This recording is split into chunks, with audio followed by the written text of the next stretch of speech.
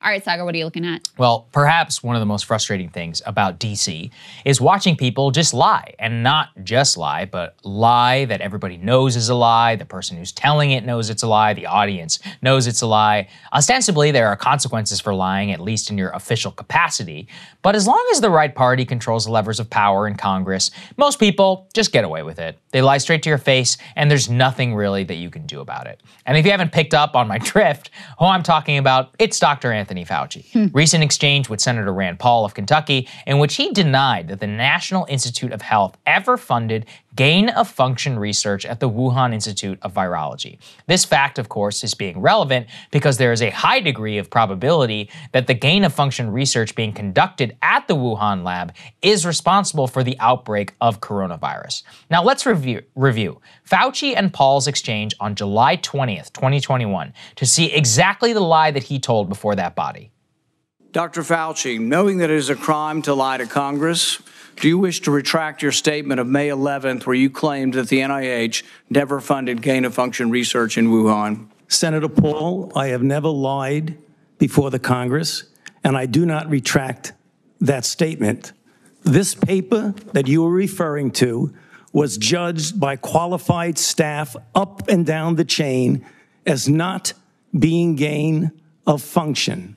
What was, let me take- finish. You take an animal virus and you increase its transmissibility to humans, Right. you're saying that's not gain of Yeah, function? that is correct. And, and Senator Paul, you do not know what you are talking about, quite frankly. And I want to say that officially. You do not know what you are talking about. Let's Okay, you get one person- Let's read from the NIH Chair, can I definition of answer the gain of function. This is your definition that you guys wrote. It says that scientific research that increases the transmissibility among mammals is gain of function. They took animal viruses that only occur in animals and they increased their transmissibility to humans. How you can say that is not gain of function? It is not. It's a dance, and you're dancing around this because you're trying to obscure responsibility for 4 million people dying around the world Okay. from a pandemic. There you have it. Rand Paul gave Fauci every opportunity to retract his lie that the National Institute of Health and the NIAID ever funded gain of function research at the Wuhan lab. Fauci, as you see, plays word games. He tries to distract. He says, Yeah, yeah, we funded research at the Wuhan lab that enhanced back coronaviruses, but you see, technically, we just don't call it gain of function. At the time, it was transparent and it was a word game. It was a lie to mislead the American public. But now we have something even better. It's smoking gun proof that Fauci did in fact lie to Congress, and it is not some quack who is saying this. This time it is cold hard documents from the EcoHealth Alliance themselves. That group, which served as the conduit as the funding for gain of function research to the Wuhan lab from our own government.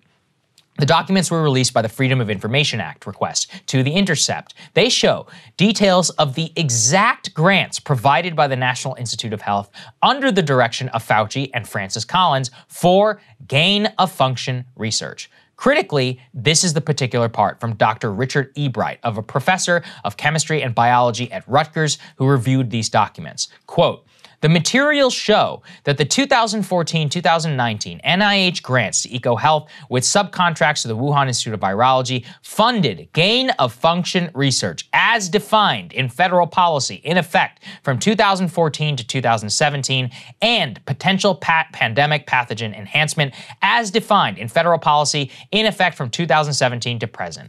In other words, the documents prove that Fauci's own guidelines, which he wrote himself, that he was lying to Congress. The National Institute of Health funded gain of function research at the Wuhan lab, while we knew the broad con- contours of that. At an official level, that is no longer in dispute, which means that there's this is a lie that Fauci told.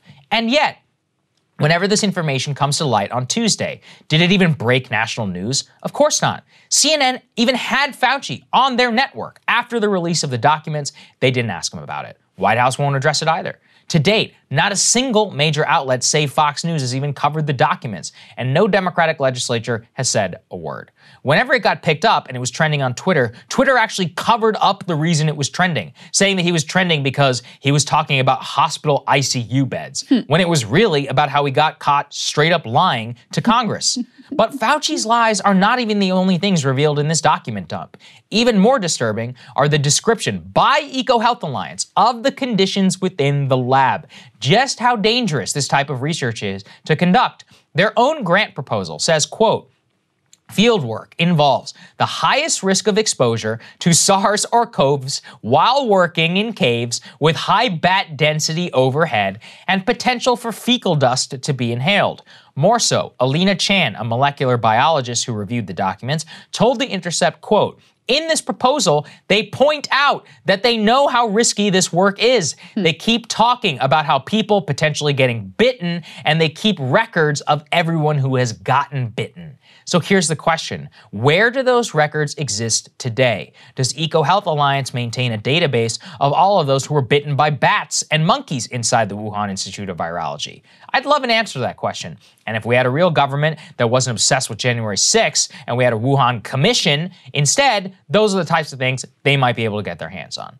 But that's not the problem, is it? It's a lie. Is it a lie if nobody acknowledges the lie and nobody investigates the lie and nobody has any consequences for telling the lie? That's the more philosophical question that I am prepared to answer. But the more information that comes out regarding this situation, the more clear it is that the very people in charge of running the pandemic may have caused this thing in the first place.